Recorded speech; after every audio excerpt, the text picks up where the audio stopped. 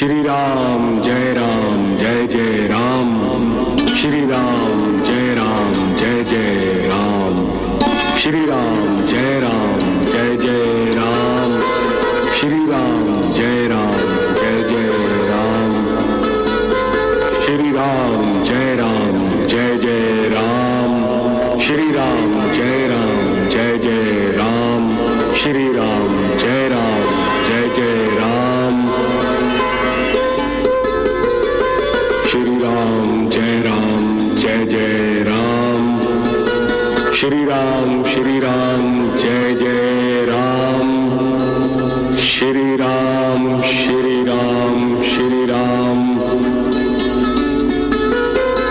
श्री राम श्री राम जय जय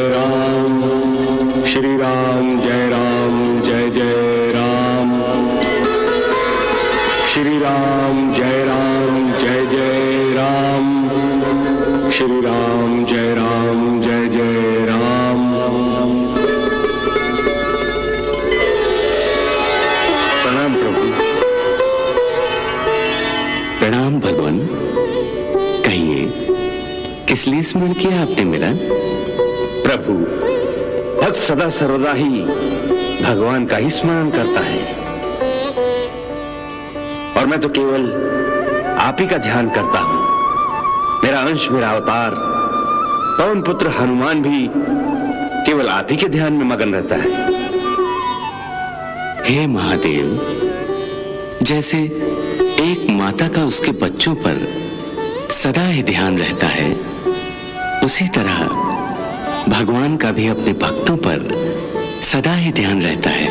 परंतु ऐसा लग रहा है कि युगों युगों से आपके दर्शन की अभिलाषा से पृथ्वी लोक पर निवास करने वाले भक्त शिरोमणि हनुमान की ओर आपका ध्यान नहीं है प्रभु।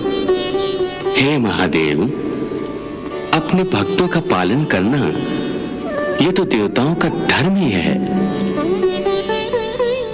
आप भी तो जानते हैं कैलाशपति कि हनुमान उसकी भक्ति की वजह से ऐसी ऊंचाई पर पहुँच गया है कि अब भक्त हनुमान और भगवान में कोई अंतर ही नहीं रहा है। हे शिव, धर्म की रक्षा और स्थापना करने के मेरे कार्य में मुझे हनुमान जैसे मेरे भक्तों की आवश्यकता है। धर्म का नाश ना हो जाए। इसके लिए हनुमान जैसे भक्तों का चिरंजीव हो जाना भी अति आवश्यक है। ये तो ठीक है प्रभु। परंतु आप सचमुच हनुमान जी को अपने दर्शनों से कब निहाल करेंगे? जब कौरव पांडवों का महाभयंकर युद्ध शुरू होगा तब पांडवों की सहायता करने श्री कृष्ण के साथ हनुमान का भी पांडवों के साथ होना अति आवश्यक है। इस युद्ध के पहले ही मैं हनुमान को श्री राम का दर्शन करवा दूँगा। श्री राम, जय राम, जय जय राम। श्री राम, जय राम, जय जय राम। श्री राम, जय राम, जय जय राम।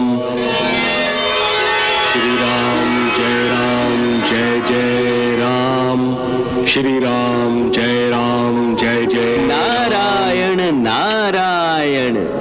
प्रणाम पवन पुत्र। प्रणाम देवर्षि। हे राम भक्त हनुमान आज आप प्रसन्न दिखाई दे रहे हैं। राम नाम जाप का यही चमत्कार है। राम नाम जाप से तन और मन की सारी पीड़ाएँ दूर हो जाती हैं। यदि नाम से ही सारी पीड़ाएँ दूर हो जाती हैं तो सोचिए श्री राम के दर्शन से क्या होगा? नारायण नारायण। श्री राम के दर्शन से जन्म जन्म के पापों का नाश हो जाता है। श्री राम के केवल एक कटाक्ष से मनुष्य के जीवन का उद्धार हो जाता है और श्री राम के चरण स्पर्श से शापित जीवन का अंत हो जाता है। नारायण नारायण। देवर्षि राम नाम की यही महिमा है। हे पवन पुत्र फिर आप श्री राम के दर्शन क्यों नहीं करते? श्री राम जी का दर्शन? हाँ श्री राम जी के दर्शन।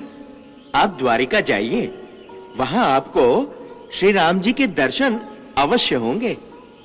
देवर्षि द्वारका में ही तो वासुदेव श्री कृष्ण निवास करते हैं।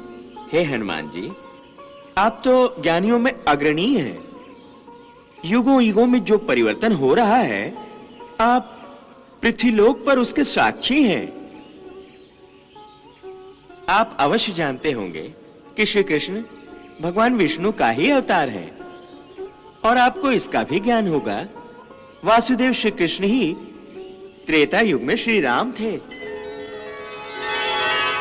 हाँ देवर्षि, मैं ये सब जानता हूँ, परंतु मैं श्री राम जी का सेवक हूँ।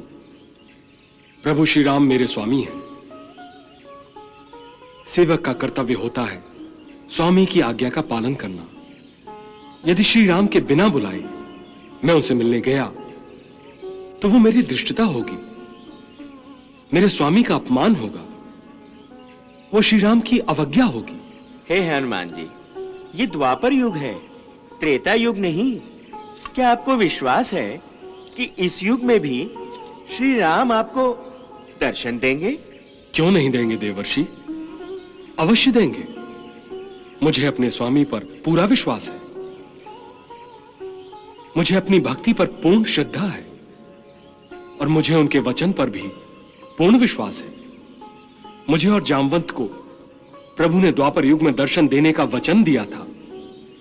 और उसी वचन का पालन करने के लिए सियामंतक मणि के बहाने प्रभु स्वयं जामवंत को दर्शन देने जामवंत की गुफा में गए थे। मुझे भी दर्शन देंगे प्रभु। जब समय आएगा तब वो मुझे भी अवश्य दर्शन देंगे। नारायण नारायण। आप तो अंतर्यामी हैं। अंतर्यामी तो मेरे प्रभु श्री राम हैं देवर्षि। प्रभु एक वचनी एक पत्नी और एक वाणी है। वो अवश्य मुझे दर्शन देंगे। और जब तक दर्शन के लिए वो मुझे बुलावा नहीं भेजेंगे। तब तक मैं उनकी प्रतीक्षा यहीं करता रहूँगा। हे पवन पुत्र यदि आप द्वारका नहीं जा रहे हैं तो मैं द्वारिका जाकर द्वारकाधीश से आपको दर्शन देने की विनती करता हूँ। नहीं देवर्षि आपको प्रभु को कष्ट देने की कोई आवश्यकता नहीं। है अच्छी बात है मैं आपकी ये भावना भी उन्हें बता दूँगा। और कल ही आकर आपको बता दूँगा कि प्रभु ने उत्तर में क्या कहा है। कल मैं गंधमादन पर्वत पर नहीं रहूँगा देवर्षि। क्यों पवन पुत्र? यदि आप द्वारका नहीं जा रहे हैं तो फिर कल आप कहाँ जा रहे हैं? देवर्षि आप तो त्रिकालदर्शी हैं। आप जानते हैं कि कल रामनवमी है। मेरे प्रभु का जन्मदिन। और आप ये भी जानते हैं कि हर बरस मैं इसी दिन अयोध्या नगरी में सरयू नदी के किनारे ब्राह्मणों को भोज देता हूँ। बस वहीं जा रहा हूँ। नारायण नारायण।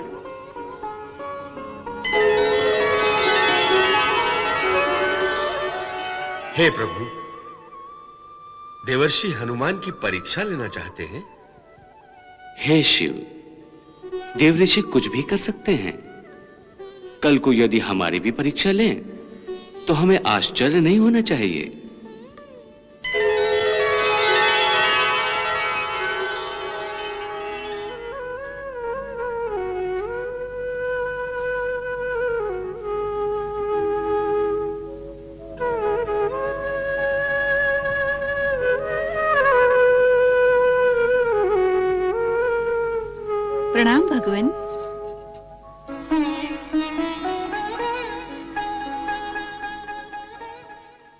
भगवान आप ध्यानावस्था में बैठकर भी मुस्कुरा रहे थे। अर्थात आप अपने किसी परम भक्त का स्मरण कर रहे थे है ना? हाँ देवी आपने ठीक ही कहा। मैं अपने परम भक्त का ही ध्यान कर रहा था। ऐसा भक्त जिसका स्मरण स्वयं भगवान करें कितना सौभाग्यशाली होगा वो। वो सौभाग्यशाली भक्त कौन है प्रभु? मेरा परम भक्त, पवन पुत्र हनुमान, जिसने अपनी भक्ति और श्रद्धा से यह सिद्ध कर दिया है कि भगवान की सच्ची भक्ति और श्रद्धा किसी कठोर तपस्या से कम नहीं होती। हनुमान, हज़ारों वर्षों से ऐसी ही कठोर तपस्या कर रहा है देवी। प्रभु, आपके भक्त हनुमान की कठोर तपस्या सचमुच ही सराहनीय और आदरणीय है। परंतु आज अचानक आपको अपने भक्त हनुमान का स्मरण कैसे हो गया? देवी जिस प्रकार सच्चे भक्त अपने भगवान का सदैव स्मरण करते रहते हैं उसी प्रकार भगवान भी अपने सच्चे भक्तों को कभी नहीं भूलते। परंतु भगवान का अपने भक्तों से मिलने का समय और कारण निर्धारित होता है। अर्थात आपका और आपके भक्त हनुमान के मिलने का कारण भी पूर्व निर्धारित ही होगा प्रभु। अवश्य देवी। भगवान का दर्शन पाने और अनुग्रहित होने की अभिलाषा तो हर एक भक्त के मन में होती है। इसी इच्छा और अभिलाषा से सभी तपस्या करते हैं परंतु इस तपस्या के पीछे भक्त के मन में कभी-कभी कोई स्वार्थ भी छुपा रहता है। भक्ति में स्वार्थ प्रभु? हाँ देवी।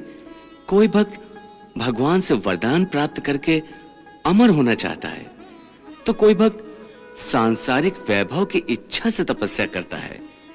किसी को सत्ता और राजपाट की लालसा होती है, परंतु मेरा प्रिय भक्त हनुमान केवल अपने प्रभु के दर्शन और आत्मसमर्पण की भावना से लगातार तपस्या कर रहा है। प्रभु जब हनुमान आपके दर्शन के लिए इतना व्याकुल हो रहा है तो आप अपने दर्शन देकर उसे धन्य कर दीजिए। देवी केवल हनुमान ही नहीं मैं भी व्याकुल हूँ अपने भक्त से मिलने के लिए। जैसे हनुमान त्रेता युग से द्वापर युग तक मेरी प्रतीक्षा कर रहा है वैसे मैं भी हज़ारों वर्षों से उससे मिलने को बेचैन हूँ। प्रभु फिर आप हनुमान को विरह पीड़ा में क्यों तड़पा रहे हैं? इस प्रतीक्षा का अंत क्यों नहीं करते? देवी उसका भी समय आ रहा है। नारायण नारायण नारायण नारायण। प्रणाम प्रभु। मुनिवर आप कुछ व्याकुल दिखाई दे रहे हैं। कहाँ से आ रहे हैं आप? गंधमादन पर्वत से सीधा चला रहा हूँ माते। हनुमान से मिलकर आ रहे हैं। इसीलिए ऋषिवर के मुखमंडल पर व्याकुलता की रेखाएँ आपस में जूझती दिखाई दे रही हैं। नारायण नारायण, प्रभु, इस समय में मैं आपके दूत, हनुमान का दूत बनकर संदेशा लाया हूँ। सुनाइए, क्या संदेशा भेजा है मेरे भक्त ने? मैंने हनुमान से कहा कि वो द्वारिका आकर आपके दर्शन कर ले। तो उसने यह कहकर इनकार कर दिया कि वो भक्त है और आपकी इच्छा और आज्ञा के बिना दर्शन करने नहीं आएगा। तो मैंने कहा कि मैं प्रभु से विनती करता हूँ कि वो स्वयं आकर गंधमाधन पर्वत पर आपको दर्शन दे। तब क्या कहा हनुमान ने? कहा कि प्रभु को कष्ट देने की कोई आवश्यकता नहीं है। वाह धन्य हो हनुमान की स्वामी भक्ति। धन्य हो। और हाँ प्रभु नारायण नारायण मैं बधाई देना तो भूल ही गया। आपके जन्मदिन की अग्रिम बधाई स्वीकार हो भगवान। परंतु मुनिवर जन्माष्टमी को तो अभी देर है ना? नारायण नारायण जन्माष्टमी ही प्रभु का जन्मदिन नहीं है माते। रामनवमी भी तो प्रभु का जन्मदिन हुआ ना? श्री राम प्रभु का ही अवतार थे। अच्छा अच्छा तो आप इन्हें रामनवमी की बधाई दे रहे हैं। हाँ माते। प्रभु कल रामनवमी है ना? बड़ा मज़ा आएगा। राम के जन्म दिवस के अवसर पर हनुमान जी मंदिर में पुजारी का रूप धारण करके ब्राह्मणों को भोजन कराते हैं। नारायण नारायण। हाँ मुनिवर। अब आप तो ठहरे ब्राह्मण। भला खाने पीने के अवसर को आप कैसे भूल सकते हैं?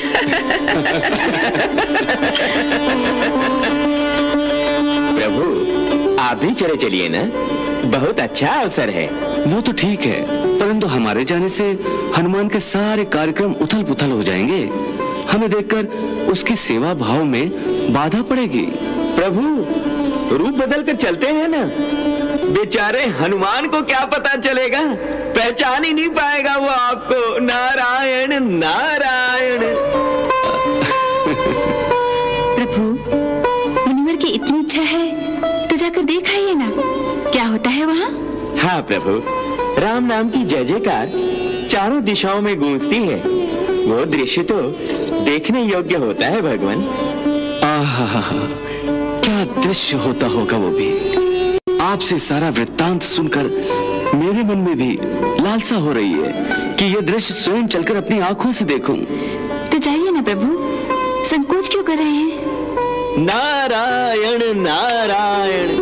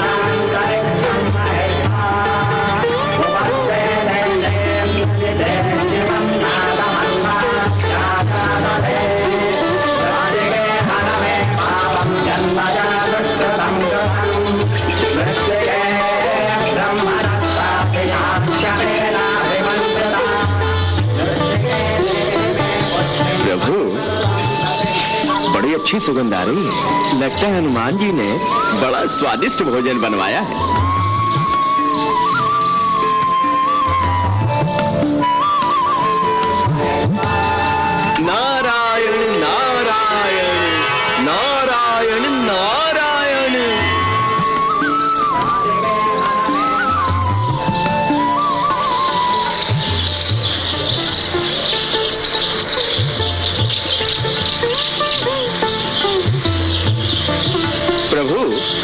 मुझे नहीं लगता कि अब आपको आपका भक्त पहचान पाएगा।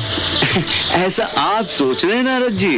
बोलो जय श्री राम। जय श्री राम। चले चलिए।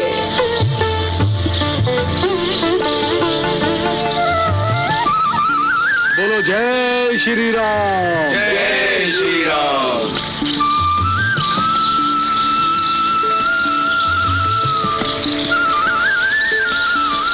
जय श्री राम।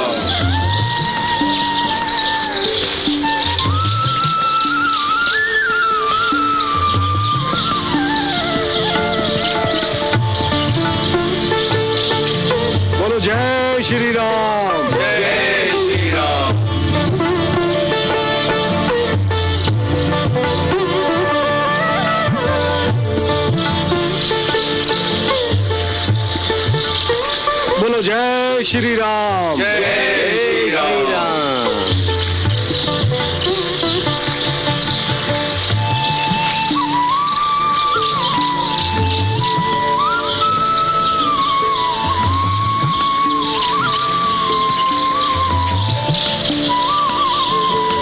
बोलो जय श्री राम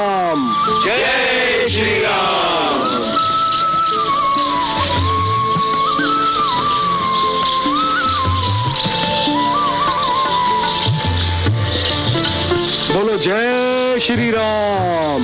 जय श्री राम।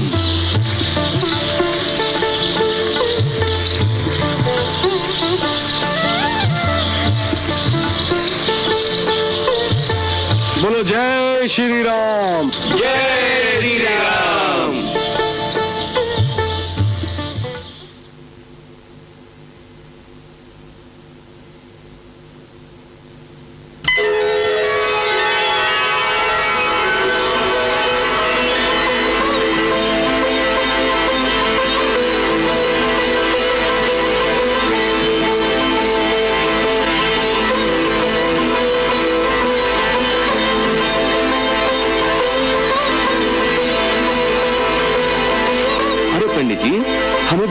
तो रामनवमी का प्रसाद।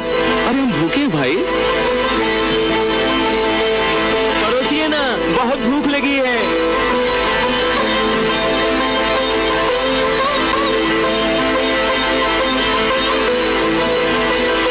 अरे पंडित जी परोसिए पड़ोसिए ना?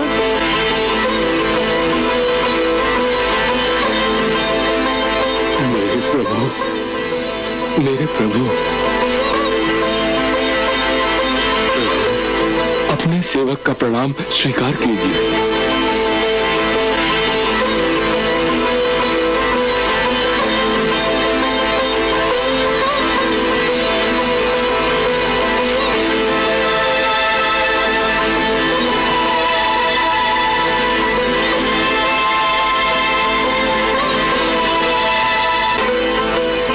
मुझे क्षमा कर दो प्रभु।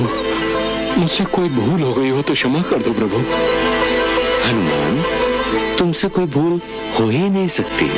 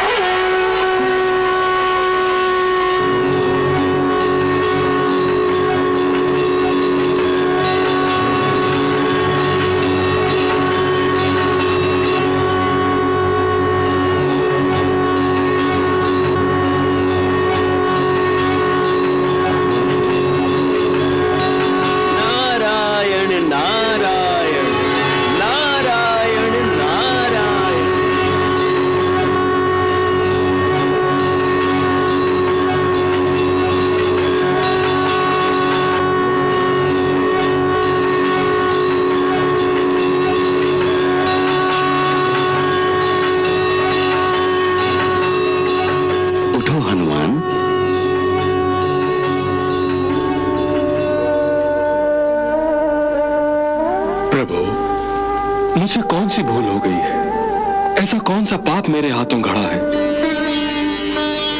जो आपको स्वयं चलकर यहाँ आना पड़ा जबकि मुझे चलकर द्वारका आना चाहिए था। मेरे भक्त मैं तुम्हारी भक्ति और सेवा में विघ्न नहीं डालना चाहता था। मेरी तो इच्छा थी आपके दर्शनों की। सोचता था जाने कब आपके दर्शन होंगे। तो आज तुम्हारी इच्छा पूरी हो गई ना? नहीं प्रभु नहीं। मैं ऐसी इच्छा कदापि नहीं कर सकता कि मेरे स्वामी मेरे सामने हाथ फैलाएँ और मैं दाता बनकर उनके सम्मुख खड़ा रहूँ। प्रभु, ये दर्शन नहीं। अनर्थ है, अनर्थ। ये दृश्य देखने से पहले तो अच्छा होता कि मेरी आँखें अंधी हो जाती। नहीं भक्त, जो आँखें केवल मेरे चरणों को देखकर ये जान जाती हैं कि वो उसके स्वामी के चरण हैं वो आँखें तो तेजस्वी आँखें हैं। भला ऐसी आँखें अंधी कैसे हो सकती हैं? काश ऐसी दृष्टि मेरे हर भक्त में होती। प्रभु, ये दर्शन अधूरा है। मैं आपके दर्शन के लिए स्वयं आऊँगा और सीता मैया के साथ आपके दर्शन करूँगा। तभी तो मेरा दर्शन पूरा होगा। तभी तो मेरी मनोकामना पूरी होगी। तथास्तु।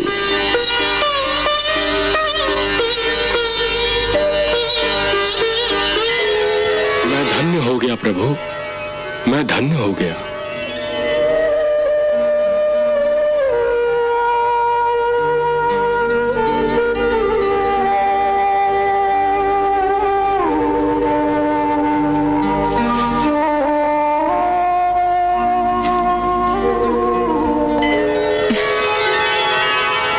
वाह प्रभु वाह।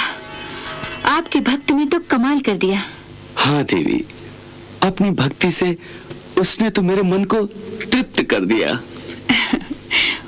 और हाँ देवर्षि आपका पेट भरा कि नहीं? कहीं आपको भोजन कम तो नहीं पड़ा? मुनिवर भोजन तो क्या करते? हनुमान की श्रद्धा और भक्ति को देखकर इनका मुँह तो खुला का खुला ही रह गया था। भगवान आपने कहा नहीं था परंतु मैं जानती हूँ। कि आप केवल अपने भक्त की परीक्षा लेने के लिए वहाँ गए थे है ना? नहीं देवी मुझे अपने हनुमान पर पूर्ण विश्वास है। मैं जानता था कि मेरा परम भक्त मुझे किसी भी वेश में देखकर पहचान ही लेगा। तो तो फिर आप वहाँ गए ही क्यों थे? इस प्रश्न का उत्तर तो मुनिवर को ही देना चाहिए जो हनुमान को साधारण भक्त सिद्ध करना चाहते थे। जो मुझे पहचान नहीं पाएगा। क्यों, मुनिवर? मुझसे बहुत बड़ी भूल हो गई भगवान।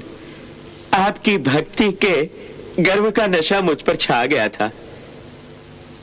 और मैं अपने आप को आपका सर्वश्रेष्ठ भक्त समझने लगा था। ये मेरा अहंकार था भगवान, मेरा अहंकार। इसी अहंकार को तोड़ने के लिए तो मुझे आपके साथ हनुमान के पास जाना पड़ा। मुझे क्षमा कर दीजिए भगवान। मैं मानता हूँ मैं मानता हूँ कि हनुमान ही आपके परम भक्त हैं। भक्त तो संपूर्ण समर्पण का नाम है। और यदि भक्त में अहंकार की थोड़ी सी भी भावना आ जाए तो भक्त का विनाश आरंभ हो जाता है। और मैं नहीं चाहता था कि देवऋषि और मेरे दूसरे भक्तों की भक्ति का भी नाश हो जाए। प्रभु आपके दूसरे भक्त भी अहंकार के मारे हैं? हाँ देवी। अब आप किन भक्तों की बात कर रहे हैं? कई हैं। जैसे अपने दाऊ भैया भीम भैया अर्जुन मेरा सुदर्शन चक्र और गरुड़ इन सबको अहंकार के नाग ने टस लिया है। किसी को बाहुबल का अहंकार है। तो किसी को अपनी धनुर्विद्या का घमंड है। ये सब मेरे अपने हैं। मैं इनको खोना नहीं चाहता। इसलिए इनका अहंकार भी तोड़ना होगा। परंतु भगवान आप इनका अहंकार तोड़ेंगे कैसे? मैं नहीं देवी। मेरा परम भक्त हनुमान इन सब के अहंकार को तोड़ेगा।